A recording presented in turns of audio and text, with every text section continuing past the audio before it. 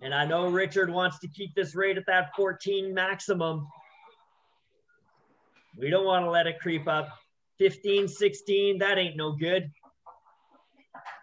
13. All right, 13, there we go. That's what we like to see.